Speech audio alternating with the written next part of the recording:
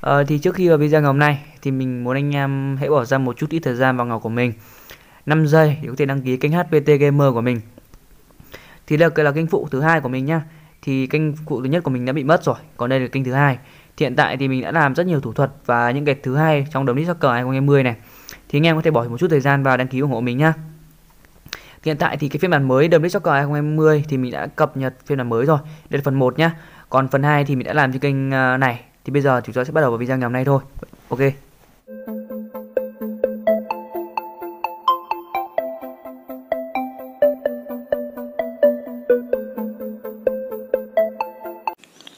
Hello, xin chào tất cả các bạn, chào mừng các bạn đã tiếp tục quay trở lại với channel của mình.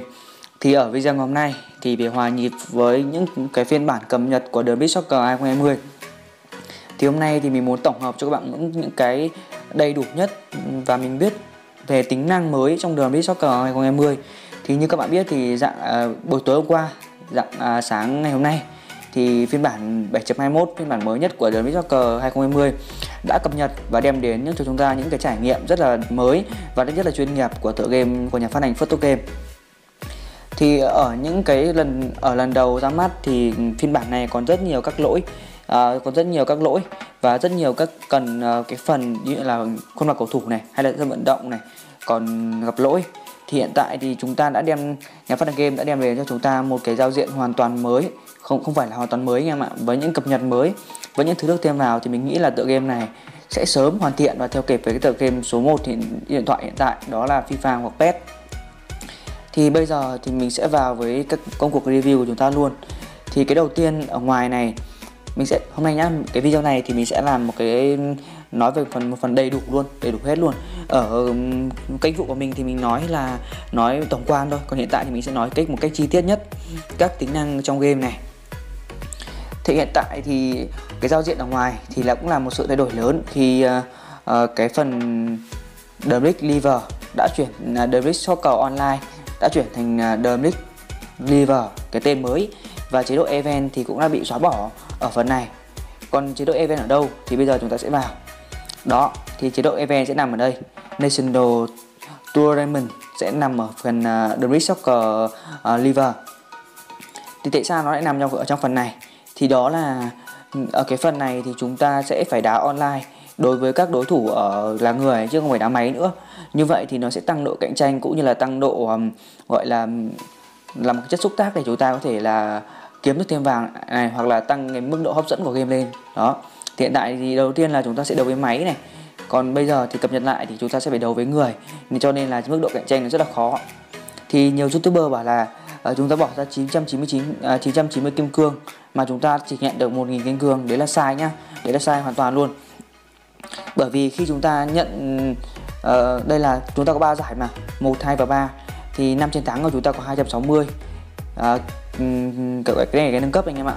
Và 7 chiến thắng thì chúng ta có 510 còn 9 chiến thắng thì chúng ta sẽ có ờ, uh, 1000 thì cộng lại phải là 1007 chứ anh em nói đúng không? Phải là cái này là hơn à, gần 1.800 gần 1008 vàng. Gấp đôi cái số tiền chúng ta phải bỏ ra. Và ngược lại nữa thì chúng ta sẽ những chiến thắng lại được nó sẽ cộng vào thì chúng ta sẽ được bonus thêm. Thực uh, bonus thêm nên là cái số vàng nó sẽ không phải ít như các youtuber khác nói đâu anh em ạ ok đấy là phần uh, national tournament.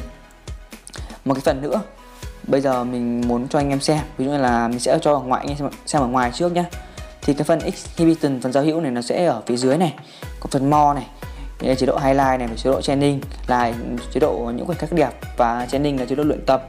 Thì nó đã được có những cái hình ảnh uh, giao diện mới ở cái phần logo của mình. Đấy thì là một cái điều rất là hay cũng như là rất là đẹp đối với uh, The League Soccer 2020 ở đây là các bản uh, record nghĩa là các trận đấu của chúng ta và các uh, danh hiệu mà chúng ta đạt được. Đây record này. Ok thì tiếp theo mình sẽ vào bên trong em nhé. Sẽ vào bên trong. Ở bên trong này thì uh, nổi bật nhất thì đó phải là phần đây transfer này. Nó đã được thay đổi uh, ảnh còn những tính năng khác thì vẫn bình thường thay đổi ảnh ờ, ở mỗi cái chế độ. Ví dụ như là đây common ray và legendary anh em nhé. Còn đâu các phần kim cương này thì vẫn giống hệt bình thường. Tiếp theo ở cái phần uh, re uh, ready player nghĩa là bán mua bán cầu thủ á, thì nó cũng có xuất hiện một cái mới anh em ạ. Thì bản cũ thì chúng ta sẽ nó chỉ là nó xuất hiện ở trong uh, sân vận động của chúng ta à nó xuất hiện ở trong cái bảng cầu thủ của chúng ta. Còn hiện tại thì nó sẽ xuất hiện cho anh em một cái bảng dài như thế này nhìn như vậy thì rất là đẹp luôn và rất là dễ nhìn nha anh em nhé. Đấy, xuất hiện một cái bảng dài như thế này thì nó vừa cho anh em vừa dễ nhìn còn à, vừa đẹp nữa. Cái đấy thì thật sự mình cảm thấy rất là ok nhá. Đấy, nó phân từng vị trí này thủ môn này. Đó còn đây là hậu vệ này hậu vệ một bên này rồi bắt đầu đến những cái phần khác. Đấy là nhìn rất là ngầu luôn anh em ạ. Tiếp theo một cái phần nữa mình sẽ ra bên ngoài nhá đó là phần à, anh em mình chữ cái phần xanh xanh này không? À, phần gen và phần à, con nghĩa là phần kim cương và phần vàng á, thì chúng ta vẫn uh, có như bình thường thôi. Còn phần promote này nghĩa là cái phần sell off và là cái phần sell của chúng ta. Chúng ta có thể mua được cả kim cương và vàng hoặc là số vàng nhiều bằng một số tiền thật ít. Nghĩa là đó là một cái phần mà gọi là anh em nói sell á phần sell của nhà phát hành game mà chúng ta mua. Thì mình nghĩ cái này là uh, mỗi tuần hay là mỗi tháng á, thì nó sẽ cho một hai lần. Đó. Phần thứ tư đó là phần pack này. Pack này đó là vẫn là mua cầu thủ thôi. Mua cầu thủ và để mua cầu thủ và mua những cái nâng cấp. Còn cái thứ tư này đó là phần emoi là phần icon và chúng ta sẽ sử dụng trong trận đấu online. Còn mình thì mình nghĩ là mình không chẳng mua cái icon để làm gì cả nó cũng chẳng được um, tích sự gì mà chúng ta phải mất 92.000 đó. Còn các phần khác này thì anh em có thể xem nhé ok tiếp theo thì đó là phần một cái phần nữa. Đó là phần uh, đây. Đó my profile của mình nhá. My profile của mình thì có một phần rất là mới. Đó là phần uh, vào quốc kỳ Việt Nam này. Quốc kỳ anh em bấm vào quốc kỳ này. Đấy thì nó sẽ hiện ra cho anh em những cái quốc kỳ mà ừ, chúng ta muốn lựa chọn nhá thì cái này nó uh, cái này là rất nhiều. Để mình sẽ xem bao nhiêu nước này anh em nhá. Hai bốn sáu này 8 này. Hàng ngang là 8 này. 3 này. 4 này 5 này. 6 này. 7 này. 8 này. 9 này. 10 này. 11 Nhầm rồi.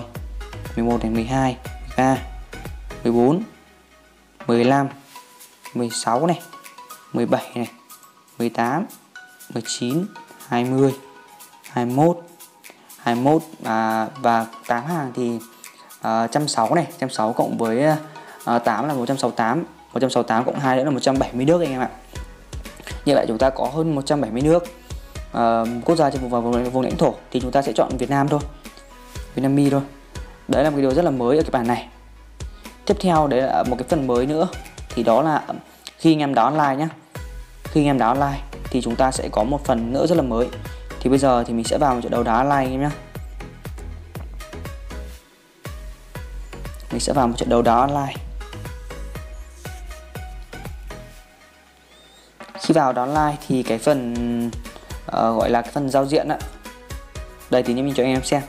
Giao diện ở cái thanh bảng tỷ số á, thì nó cũng là một cái điều rất là mới luôn.